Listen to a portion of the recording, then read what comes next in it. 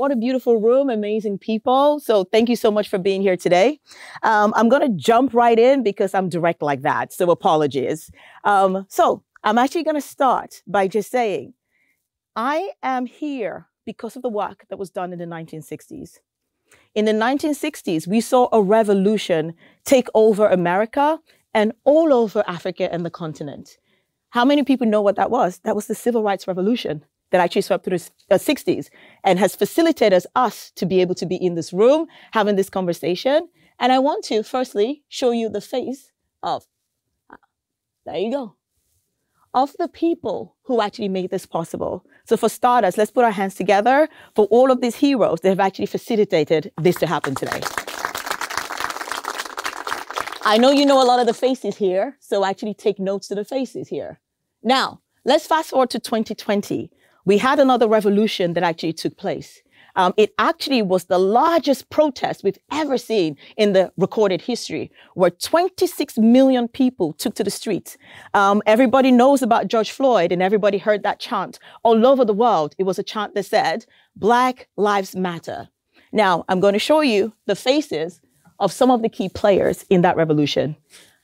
I'm sure you know these ladies of the Black Lives Matter. We have Ayo right there, we have Patrisse, and we have Alicia. These are the ladies behind the Blackout Tuesday that many people got involved in. So everybody who did, thank you very much. Um, you have Aurora James from 15% Pledge, and yours truly right there from Pull Up for Change. I didn't put that slide up to brag, uh, but these are actually the lead faces that drove the revolution of 2020. Now let's fast forward to 2022 as we speak right now, there's an active revolution happening in Iran where the women are rising up and they're saying enough. And this was driven by one person. She was the catalyst for the change. And I'm going to say her name because she's not here with us today. Mahsa Amini, she is the reason for this. But what are we seeing? For the first time, women standing up and putting the middle finger to the Ayatollah. We haven't seen that in a long time. So I'm going to ask a question to the audience. Can you see a difference in the key players between the 60s 2020 and 2022. Who can scream out what you can see as a difference in the in the slides? Women. Women! What? But at the same time, ask yourself, how many female leaders are there in the world? If revolutions right now as we speak today are driven by women, if the uprising are driven by women, where are the women leading it after the revolution is over? I'm gonna let you uh, think about that and I will introduce myself. Hi, I am Sharon Chuter and I'm an entrepreneur, I'm an activist, I'm a daughter, I'm a sister, and um, I'm known to be a troublemaker, but only the good trouble. We don't get ourselves involved in bad trouble. Uh, my pronouns are she, her, which means I am female. I identify as female. So let's get into it. What does it mean to be female? Um, I can't be in London and not use the Oxford Dictionary, so I'm going to have to read to make sure I get it right because I don't want to be um, rude. So, um, according to the Oxford Dictionary, uh, female um, means of or denoting the sex that can bear offspring or produce eggs. How flattering! That's what it means to be female. Who is uh, who who who produces eggs out here? I'm happy someone's like whoop whoop egg producing right here. right? Now, if you think about that definition, it's actually not scientifically wrong.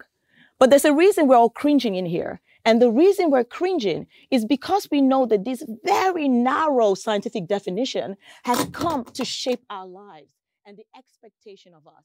As women, we are viewed squarely from the perspective of our uterus and the use for it. So whether it's finding a mate to use said uterus, or what happened after that uterus is in use, which is looking after children. And there is nothing wrong with finding a mate. I mean, it's beautiful. There's nothing wrong with children because I'm sure a lot of you out here have children. But when you're viewed from such a narrow and singular lens, and everything in your life is viewed from that perspective, maybe we have a problem right there. As a woman, here's what's expected of us. You have to be a great cook by, by definition. So if you're born and you can't cook, oh, bad girl. How could you? Your mother didn't raise you well. You have to be a good homemaker, right? Um, and you have to, you know, be good at other things that I can't mention here in such um, polite and distinguished company. But you know of what I speak, right? Now let's flip the script. If you are male, your role, the traditional role as a provider, you can do this in any way or shape you want. You can be a basketballer, a footballer, an accountant. So let's flip the male and female situation. Let's assume every man came into the world and he had to be an accountant. And uh, even though he's the best rugby player on the planet, everybody's like, ah, such a shame. Oh, he can't be an accountant. This is exactly the life of a woman. No matter what you achieve, no matter who you become. Actually, the more you achieve, everybody pities you even more, which is, ah, she, well, of course she's a CEO. She didn't find a husband. Uh, if she did, she wouldn't be a CEO, right? And it's like a shame, right? This is the reality. But even what irks me even more is that, yes, we're expected to know how to cook. But when it comes to the commercialization of cooking, this is what it looks like. Here are the top 10 uh, most famous chefs on the planet. You notice anything there? We apparently the one job that we have, we're not even good at it when it's commercial. we can't cook, y'all, apparently. And I know you guys think I'm just angry about who gets the credit for a souffle, uh, but this is not it, right? This is our reality, and it's crazy.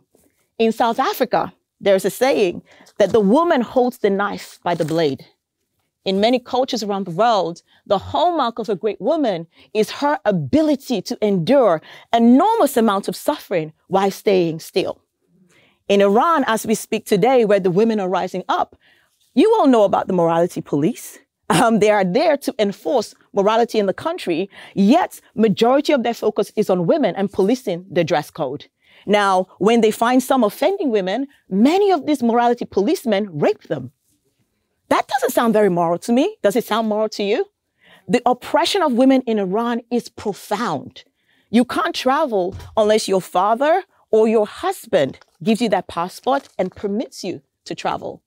In 2019, 30% of the murders in Iran were honor killings towards girls and women. And what are we doing about it?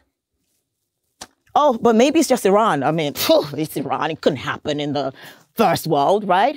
Well, I live in America. And uh, who knows what happened this year for women? The big revolution was overturning Roe versus Wade, infringing on our reproductive rights. In many states, even if your life is at risk because of your pregnancy, you are assigned a death sentence without even a chance to plead your case. Even people who murder people get to go through a trial. You don't get a trial. It is done. There is nothing you can do, regardless of the cost to your life. We are literally passengers in our own lives. We have no control of our bodies, and this is set. When it came to vaccinations, the men of America said, My body, my choice. You don't get to tell me if you can vaccinate me. When it comes to women, well, her body, my choice. In America, gun violence, kids are getting shot in school, and nobody will change it because it infringes the right of boys to have their toys. But for our lives, we don't even get a say somebody else, a bunch of people sit down there and tell us how our lives is going to be. Now, in America, one in 16 women lose their virginity to rape and coercion. One in 16. This is the home of the free and the land of the brave. But one in 16 women lose their virginity to rape. And what are we doing about it? Okay, let me cross you over. I'm going to take you back home now. I'm from Nigeria. And the northern part of Nigeria, that's a predominantly Muslim part of the country. Women are married off as young as the age of 10, and this is the norm. Vagina fistula, most people won't even know what that means. It's a very common affliction. It's what happens when a girl births a child at 12 or 11 when she's not ready. It is a urinary incontinence that happens. And what are we doing? Nothing. We turn a blind eye. Okay, now let's forget about oh, all of this rah rah because it sounds like I'm all doom and gloom uh, and bringing too much negative statistics in here. Not only are women controlled and policed in our bodies, but even our minds are reshaped and programmed from birth. Let's talk about the ability to be chosen versus to choose. We are raised to be chosen. Up till today, 2022, it is still unusual. In this room, I'm sure there are a lot of cute guys around here. If I just walked up to one of you and was like, wow, I like you.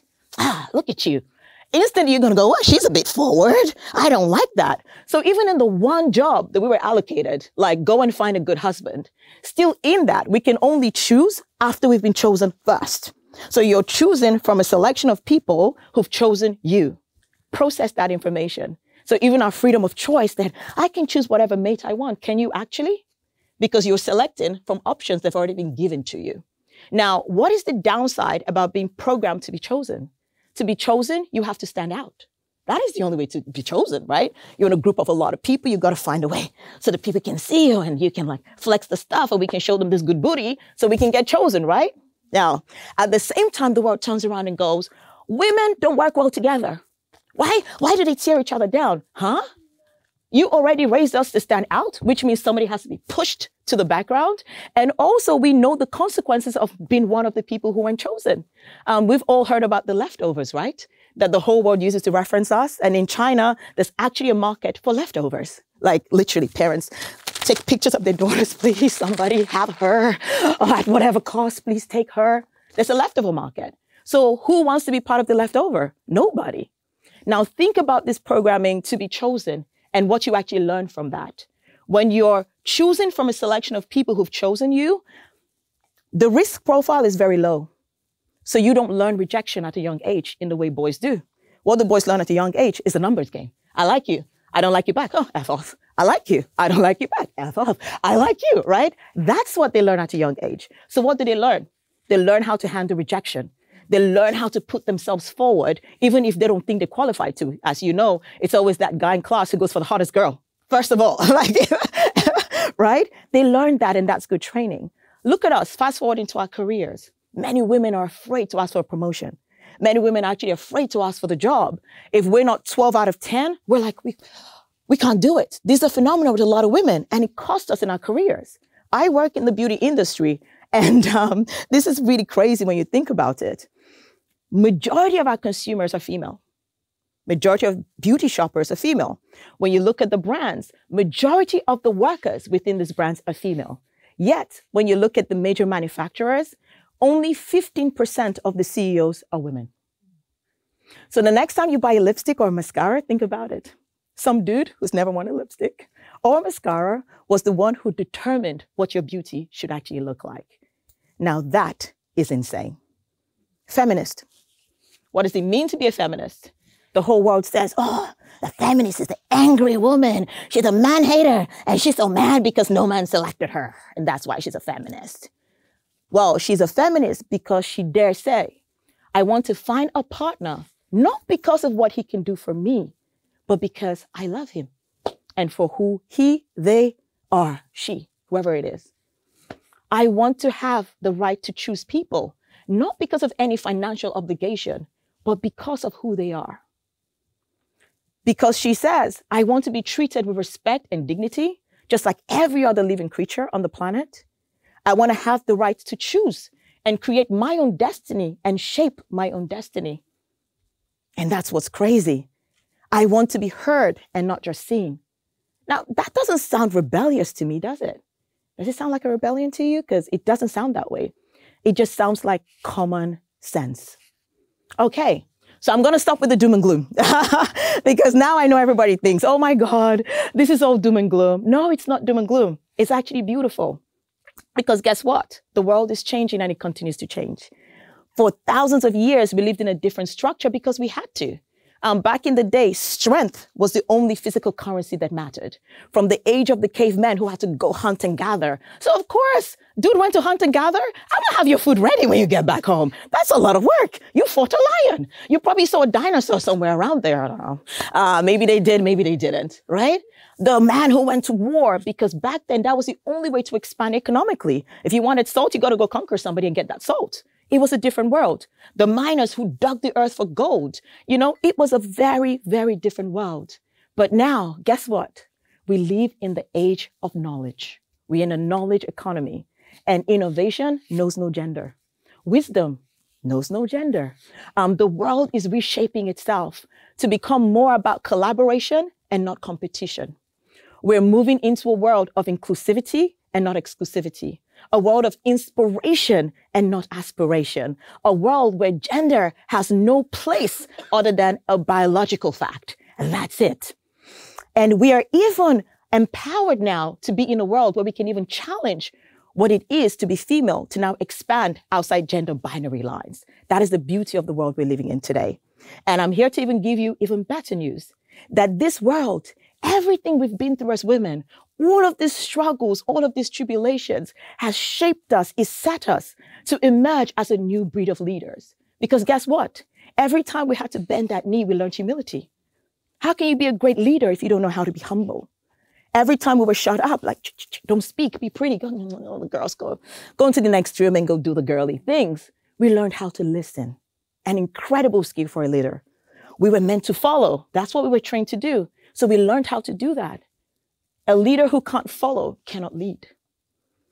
Everything we've been through today has actually been good prep work um, to shape us to play a key role in reshaping the future to be better for all of us. Isn't that beautiful? When you see it from that perspective, right? So I'm here to say to you today, being female is not an affliction. It's not, it's not a disease. It's just a biological fact. And feminism is not a revolution. It's not a rebellion. It is a common sense evolution that is going to be the pillar of building a better world for us all, where all genders can participate. We can bring our strength to the table. We can work in harmony. We can drop all the stupid, non-common sense things and actually move on to, to really live very productive lives where we can be seen for who we actually are versus pre-assigned destinies. So guess what? To every woman in the audience today who thinks you aren't and you can't, rise up and be to all of the women in this room who've been called bossy. Keep leading badass because that's what you are. To all of the women who's been called, oh, you're aggressive. Keep being assertive. And to all of the women who are too much, keep taking space. And for me, this is my personal favorite because this one I get a lot. For the women who are branded as difficult, keep holding them accountable. That's who you are. You are the future. You are the ones who are going to lead the world working alongside men. You're going to work alongside men, but we are together going to shape the world that we want. Around the world, we hear it loud and clear. Women have a reason and they're sp- they have spoken. When I saw pictures last week of women in Iran literally putting the middle finger up to the pictures of the Ayatollah, if that wasn't strong enough, she is awake. She has a reason. So, ladies and gentlemen, I want to welcome you all to the age of her.